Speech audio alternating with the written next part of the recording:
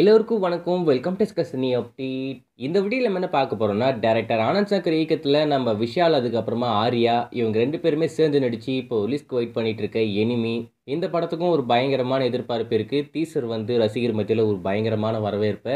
இப்போதைக்கு இந்த படம் ஓடிடியா இல்லை தேட்டரா அந்த மாதிரி நிலமில் இருக்குது பேசிகிட்டு இருக்காங்க. மேபி இவங்க எதிர்பார்க்குற மாதிரி அமௌண்ட் கிடச்சா இந்த படம் டேரெக்டாக டிஜிட்டலில் வரலாம். இல்லைக்கா தேட்டரில் வரலாம். அது அப்புறப்பட்ட பிரச்சனை. இன்னைக்கு காலையில் பதினோரு மணிக்கு இந்த படத்துடைய ஃபர்ஸ்ட் சிங்கிள் பத்தலை அந்த சாங் நாங்கள் ரிலீஸ் பண்ண போகிற சொல்லியிருந்தாங்க. இந்த படத்துக்கு நம்ம தமன் அவர் தான் மியூசிக் கம்போஸ் பண்ணுறாப்புல காலையில் பதினோரு மணிக்கு யூடியூப்பில் அந்த சாங் ரிலீஸ் பண்ண போகிறாங்க ஆனால் இப்போவே ஆடியோ ஓடிடியில் அவைலபிள் இருக்குது எனக்கு ஐடியூன்ஸில் இருக்குது உங்களுக்கு நீங்கள் யூஸ் பண்ணுற ஆடியோ ஓடிடி போய் செக் பண்ணி பாருங்கள் மேபி அதில் இருக்கலாம் இல்லாமலே இருக்கலாம். என்னை பொறுத்த வரைக்கும் எனக்கு அது ஆப்பிள் மியூசிக்கில் இப்போதைக்கு அவைலபிள் இருக்குது நான் ஒரு ரெண்டு வாட்டி கேட்டுட்டேன். சாங் எப்படி இருக்குது அப்படின்னு கேட்டிங்கன்னா என்னை பொறுத்த வரைக்கும் நான் எதிர்பார்த்த அளவுக்கு அந்த சாங் இல்லை அப்படின்றது தான் உண்மை. அதாவது பத்தலை அப்படின்றதுனால ஃபயர் பத்தலைன்னு தான் தோணுது.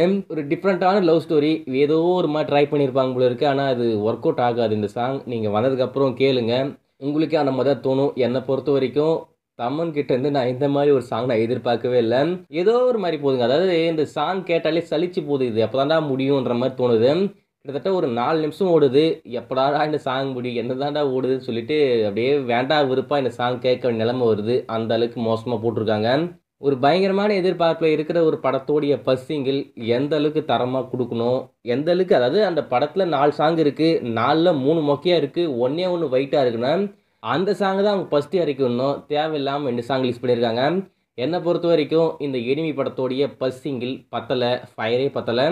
நான் இந்த சாங்க்கு அவுட் ஆஃப் ஃபைவ்க்கு டூ தரேன். நீங்கள் யாருன்னா கேட்டிருந்தீங்கன்னா அந்த சாங் எப்படி இருக்குது அப்படின்றத மறக்காமல் கமலில் மென்ஷன் பண்ணுங்கள் உங்களுக்கு இந்த வீடியோ பிடிச்சிருந்தா லைக் ஷேர் சப்ஸ்கிரைப் அதுக்கப்புறம் அந்த பெல் ஐக்கன் எல்லாமே கிளிக் பண்ணி வச்சுக்கோங்க. அப்போ தான் நாங்கள் அப்புறம் எல்லா வீடியோவுமே மிஸ் பண்ணால் பார்க்கலாம்.